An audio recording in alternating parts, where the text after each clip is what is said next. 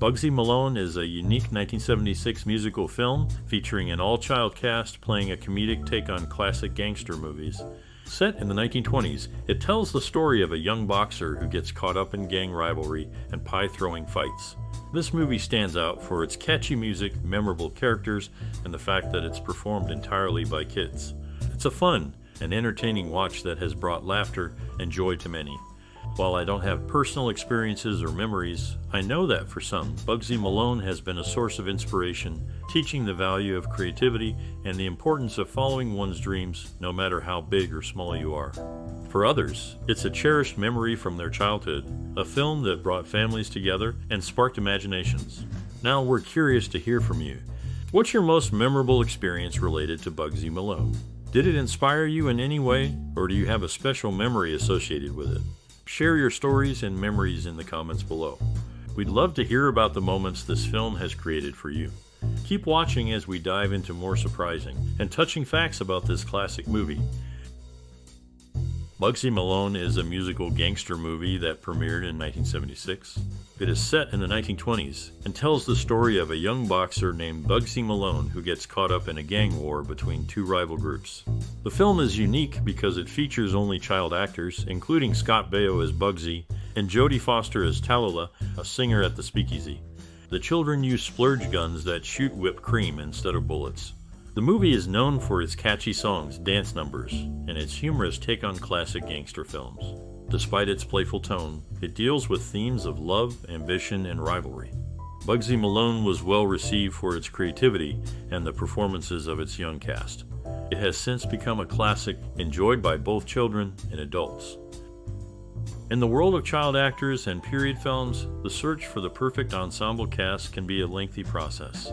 For one particular film, it took an entire year to find the right group of young stars. The authenticity extended to the locations as well, with the Richmond Theater standing in for the fictional Bijou Theater tryouts.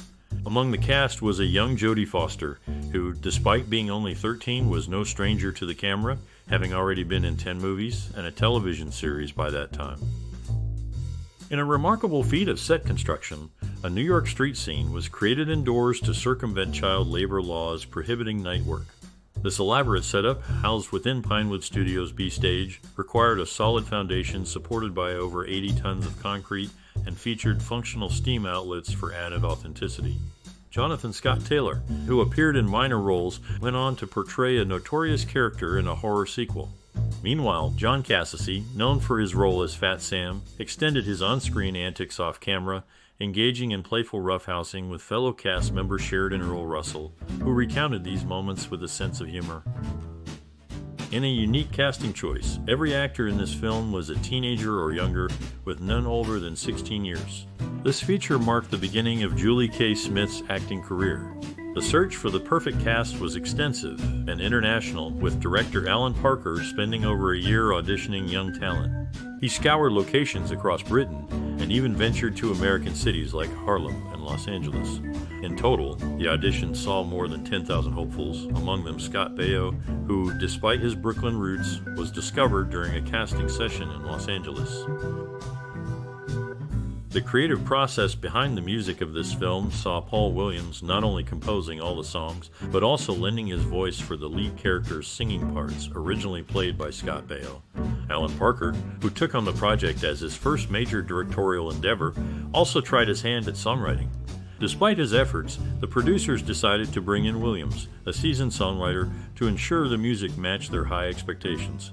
This collaboration resulted in a memorable soundtrack that complemented Parker's directorial debut. In the mid 1970s, British producer David Puttnam embarked on a project that would become a notable entry in the careers of two young American actors, Scott Baio and Jodie Foster. This film marked the beginning of their collaboration with Puttnam, which would later include another project titled Foxes. Casting for this musical gangster film was a unique endeavor, as it featured a lineup of mostly new faces, with many of the young actors and actresses having only minor television roles or appearances to their names prior to this. Among the potential leads, Mark Curry was a contender for the central role, showcasing the open search for talent that characterized the film's casting approach. In the process of transforming into the character Tallulah, Jodie Foster experienced a significant emotional reaction upon discovering her hair, and eyebrows had been altered more drastically than anticipated. The change involved bleaching her hair and plucking her eyebrows for the first time, which was a departure from the simple rinse she was told to expect. Additionally, Kathryn Apanowicz made her first appearance in the film industry with this project. Behind the scenes, the production faced challenges with the props, specifically the splurge guns.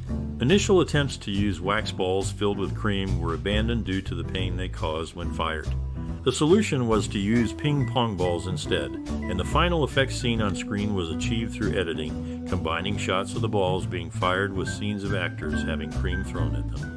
This clever technique ensured the actors' safety while maintaining the visual humor of the splurge gun scenes. In the world of early cinema, three young talents made their first appearance on the silver screen. Fifi Marchese, Louise English, and Vivienne McKone stepped into the spotlight, each bringing their unique presence to the film. Their performances marked the beginning of new careers in acting as they took their first steps in the industry with this project. These debuts signified fresh faces joining the ranks of performers ready to leave their mark on the storytelling canvas of film.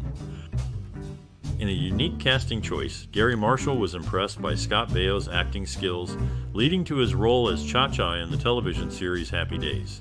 The film's memorable Chinese laundry sequence took place within the walls of a former public bath, adding a touch of authenticity to the setting. Additionally, the film shares its name with the lead character from the 1942 musical Yokel Boy, highlighting a connection between classic and contemporary musicals.